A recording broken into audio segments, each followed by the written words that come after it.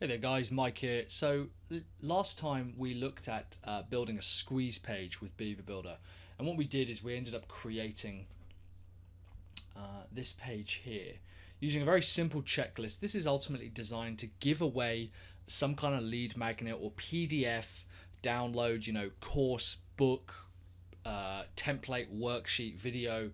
Maybe you've got um, like a, a free giveaway that um, you use with your customers, stuff like that. And we basically went through this checklist here to build our squeeze page. So this time what we're going to do is we're going to build the thank you page.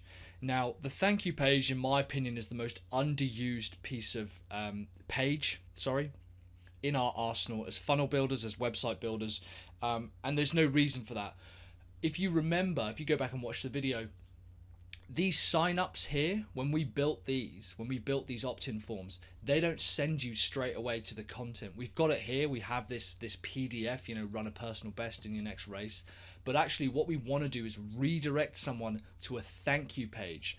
Now the reason we do that is sometimes people basically have got wise to the idea of uh, being marketed to. So what they'll do is they'll put in a piece of a, a, a, fake email address in order to just get access to the PDF.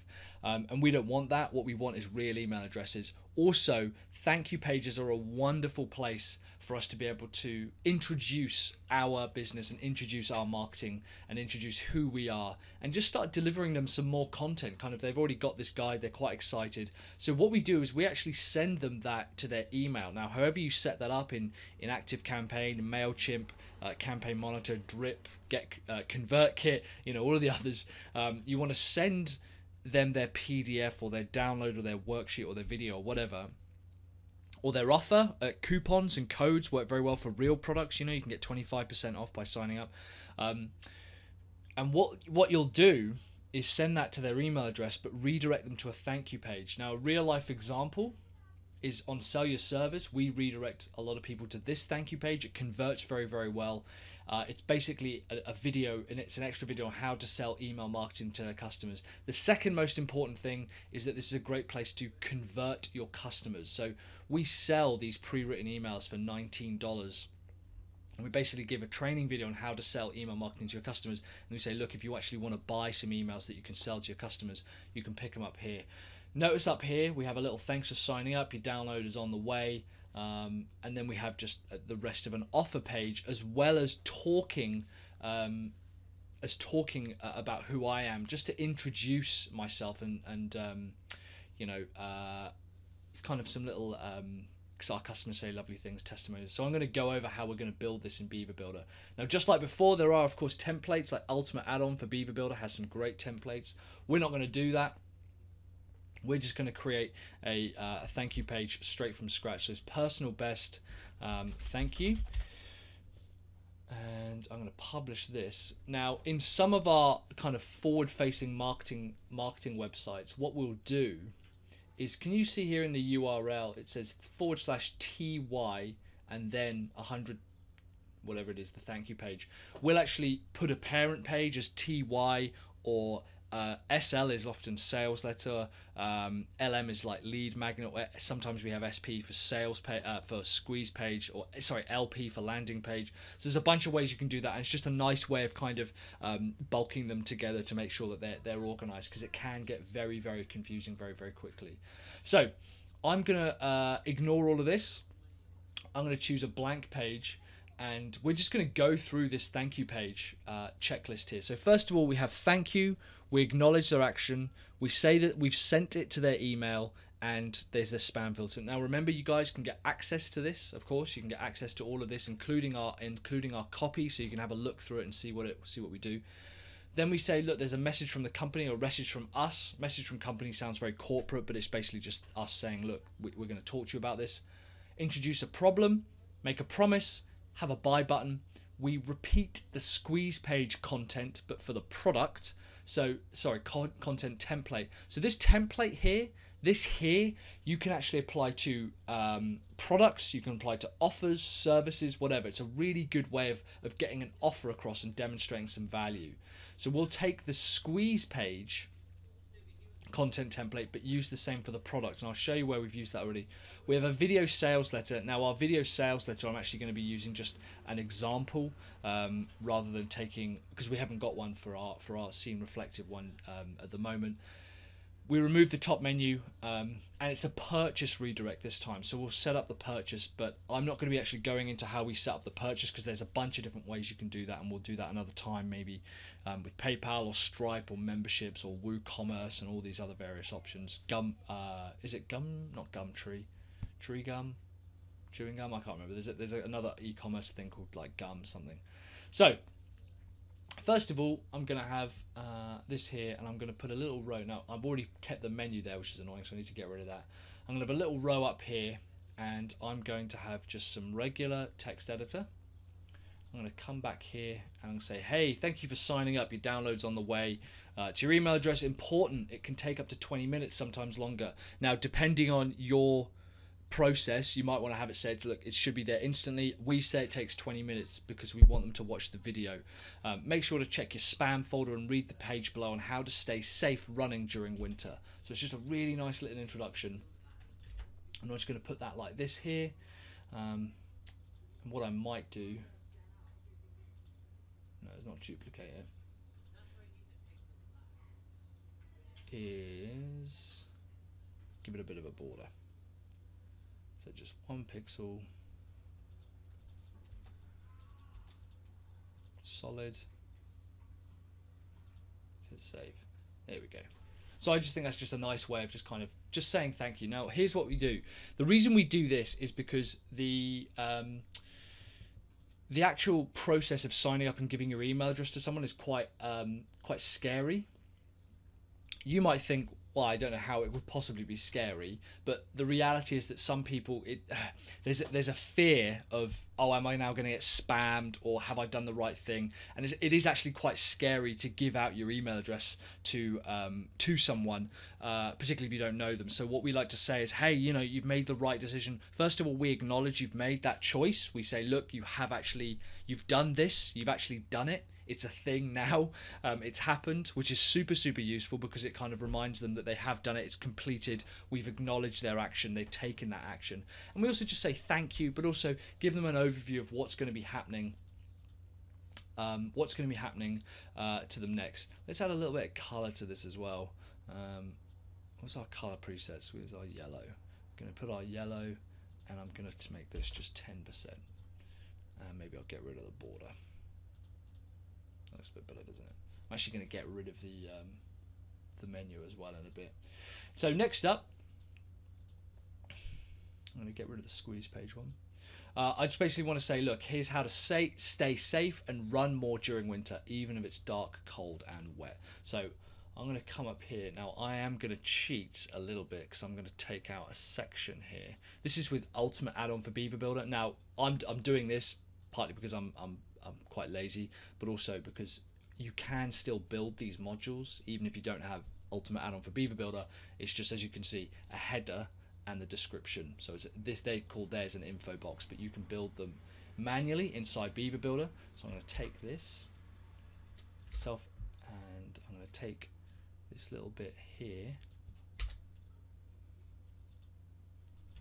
and I'm going to paste that in. This one here is going to become little heading 3 don't want any images or icons. Typography.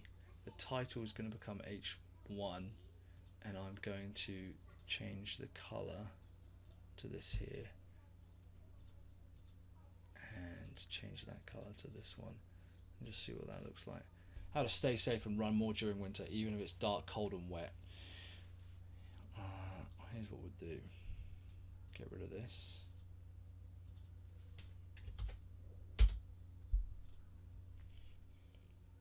That's fine like that. I'm going to remove this one.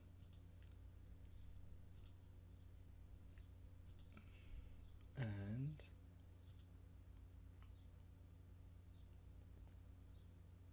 let's put in something that's uh, maybe a bit more like a heading again. What's UABB got? Let's actually have a look at what their sections are because they have got a nice one on content in general, which I think is quite good. Um, basically, what I want to do, if you look at again back to this one here, is I just want to set up, you know, this this this video. I want to set it up and show that it's useful. Uh, actually, maybe we will just leave that in there. And where's the rest of our thing? Here we go. So we'll take this. Maybe we'll make a little mini heading out of that. Add content, basic modules, heading. Let's put that there. Let's keep this all here we go. See how Scene Reflective has changed running in the dark forever and just working up a sweat by keeping you. Ah, this doesn't make any sense, does it? See how Scene Reflective has changed running in the dark.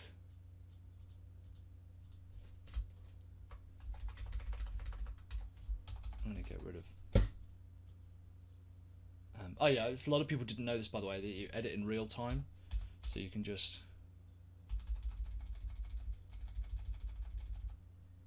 Do that and hit save.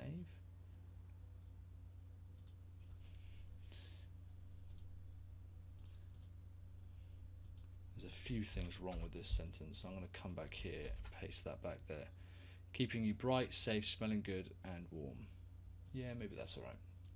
It's just an example. Doesn't have to be perfect yet, Mike. Hmm. Uh, and we'll center this as well. Mm-hmm. Cool. now I'm going to add in my video. Now, a video sales letter, I'll go over this at some point um, kind of in more detail, but I'm actually just going to take the video sales letter from um, our uh, sell your service one all we do here, a video sales letter is essentially a very short video, maybe 20 minutes. It can be a lot, can be a lot shorter, it can be a lot longer, where we basically actually take someone through and we train them on something. We train them on something that's useful and show them how to do something, but then at the end of it, position a product. Now, for digital products and services, it works really, really, really well. For real physical products, it is more of a case of um, showing people kind of uh, it's actually not that dissimilar to the squeeze page content. Again, we go over the promise, we go over the problem, you know, what we're solving, why this is important, how we're solving it, and we just make an offer to them and say, hey, look, if you're interested in, you know, if you want to make sure that you are running safely during nighttime when it's dark, then buy one of our t-shirts. We have a really good guarantee policy in this particular company whereby um, we'll make sure if, if you don't like it, you get to keep it and we'll give you a full refund. You know, we, we've got no interest in keeping your money. So a video sales letter, which I'm sure I'll go over at some point. Maybe I've even got some content on, out there already on how to write one. I'll post it if I do. I'll put it in the link below where you can write a video sales letter. Um, in fact, I think I've even got a template on how to do this. Um, so yeah, that that's kind of how we, we position that. Next up, we've got our um, message from the message from company, the video sales letter. Yeah, I put a buy button in. Now the buy button we're going to put this here. It should be centered. Um, I'm going to put the little PayPal. Now, you, what you can do is really easily set up um, a PayPal offer, uh, a PayPal um, button, which will kind of automatically deliver you know messages and stuff. I'm not going to go into that now because it can get very very complicated. For example we actually um, yeah for example this one you can actually create even a light box so you can even have people kind of just put in you can embed paypal forms straight into there which i think is quite cool. Um, uh, icon position before text yeah that's fine. The link is going to be to here same window yeah style. Center I personally, well, we'll keep the round corners because it's not so terrible. I'm going to have it as our thing here, background hover color. What I like to do is choose the same color and then just drag it down so it's a bit darker. Uh, and then hit save. There we go. So that's that's the button there. That's the call to action. Now, here's what we do on, for example, our, our, thank you page here. What you'll see is we then actually write a longer form sales letter and we keep repeating. We then have some social proof. Keep repeating this button. It's the exact same button, it's just cloned. Now, Scene Reflective, our homepage, is already a sales letter. This is a sales letter that we had written.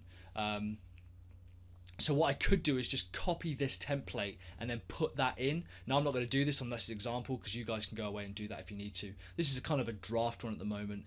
Um, but yeah, we do have this content available. And as you can see here in the thank you page, repeat the squeeze page content, but for the product. That's what's important. And the purchase redirect, when they sign up, needs to go to another thank you page or an upsell page, which I'm sure we'll do at some point um, in the future. So as you can see here, we've now basically put together the bit and it doesn't have to be a thank you page is really really simple it's also an awesome place for you to put your um, uh, um, Google goal tags. So if you're doing in Google Analytics, a really good place to put that. You can pixel them for Facebook, so you can measure conversions.